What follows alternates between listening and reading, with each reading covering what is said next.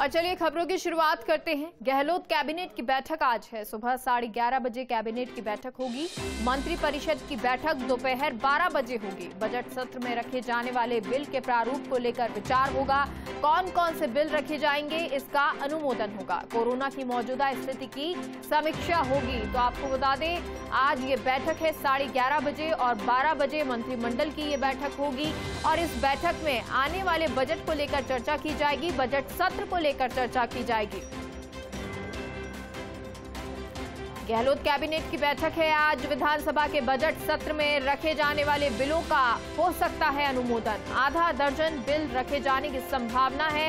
इनमें रीट जैसी परीक्षाओं की सुरक्षा और पेपर लीक जैसे मामलों पर कार्रवाई संबंधी बिल हो सकता है। सीएम गहलोत कह चुके हैं, इसी सत्र में बिल रखने की बात और इसके साथ सेवा नियम में संशोधन के बिंदुओं पर विचार हो सकता है। डीओपी और वित्त विभाग से जुड़े बिंदुओं पर भी विचार संभव है।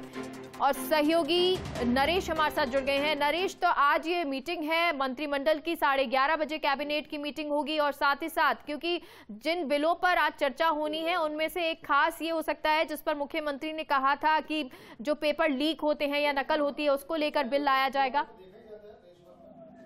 बिल्कुल देखिए, विधानसभा का सबसे नौ फरवरी से शुरू होने वाला है। और सत्र से पहले की तैयारियाँ है, तमाम तैयारियाँ, चाहे वो बजट को लेके हो, चाहे वो विपक्ष के हमलों का जवाब देने को लेके हो, या वे बिल जो सरकार इस सत्र में लेके आ रही है, उन तमाम मुद्दों पे चर्चा की जाएगी। और साथ में जो भी कई जो बजट घोषणाएँ बाकी रह गई, उनको लेकर भी चर्चा होगी, ताकि अभी भी कुछ समय है जिसमें इनको पूरा किया जा सके। लेकिन खासकर अगर हम बात करें कि एक तो जो बिल पेश होंगे, उनको लेके चर्चा होगी।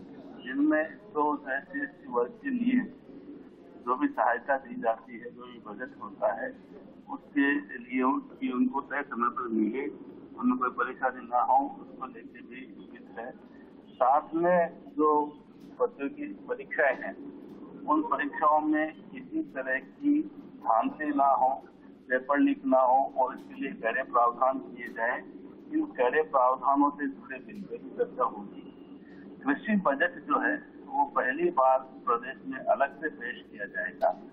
उसको लेके भी चर्चा मंथन होगा।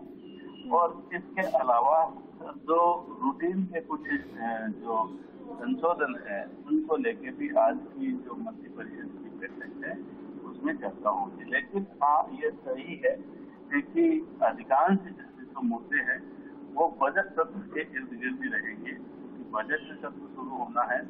सरकार को किस तरह से जो विधानसभा में विपक्ष का जवाब देना है, क्योंकि कई मंत्री नए हैं, कईयों के विभाग नए हैं ऐसे में उनको पूरी तैयारी के साथ जाना है। तो जो पूरी रणनीति रहेगी साथ में सरकार को जो भी रणनीति फैसले लेने हैं, उन तमाम मुद्दों पर आज की बैठक में चर्चा होगी बहुत बहुत शुक्रिया नरेश पूरी जानकारी के लिए।